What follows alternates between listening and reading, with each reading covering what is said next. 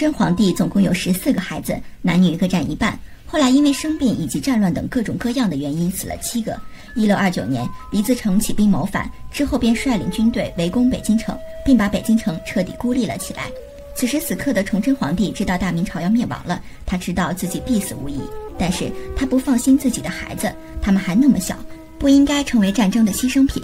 于是，让对他忠心耿耿的太监偷偷地把剩下的四位皇子送出皇宫。这四个被悄悄送出皇宫的皇子，命运更加坎坷。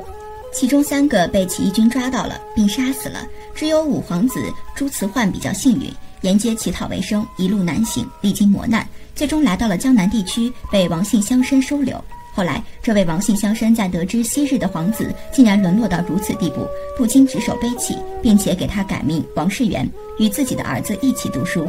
五年之后，王香生病故，王家因其身份特殊，便不愿意继续收留他。至此，他再次踏上流浪的旅途。为了填饱肚子，他去浙江寺庙当了和尚。就在他以为自己只能这样度过余生的时候，当地的一个家境比较富裕的胡乡绅发现了他的真实身份。再加上他本身长得就十分英俊潇洒，还满腹经纶，并且十分擅长围棋，于是胡乡绅就让他还俗，并娶了自己的女儿。后来他们生活一直不错，还生了好几个孩子。幸福总是短暂的，在他老了的时候，子女也都找到了自己的归宿，可谓是儿孙满堂，生活美满。只是他自己心里一直放不下曾是明朝皇子的事情，想着有一天可以亲自去祭拜自己的亲人。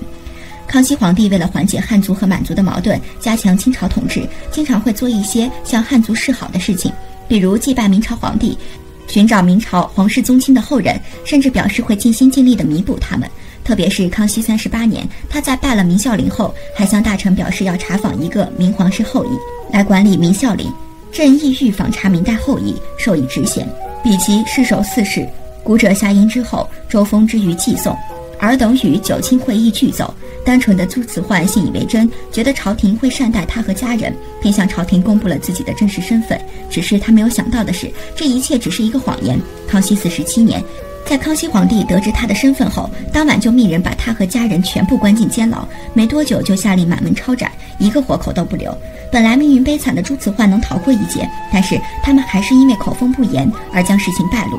当时的社会环境根本就不会允许明朝皇室的后人存在，更何况朱慈焕的身份还是崇祯的直系后人，且还是一个皇子。相传，在朱慈焕被抓前，官员曾到他家中搜查，并且在其家中还有一妻二子三女一媳。闻听官兵来捕，气势汹汹，知道大事不好。除了一个儿子外，其他六个人皆投还，六命俱尽。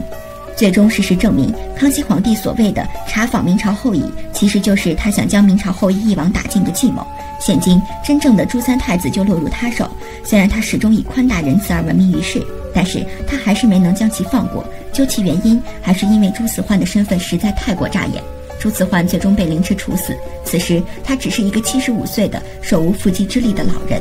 至此，崇祯皇帝的后代就都死光了，康熙也就彻底安心了。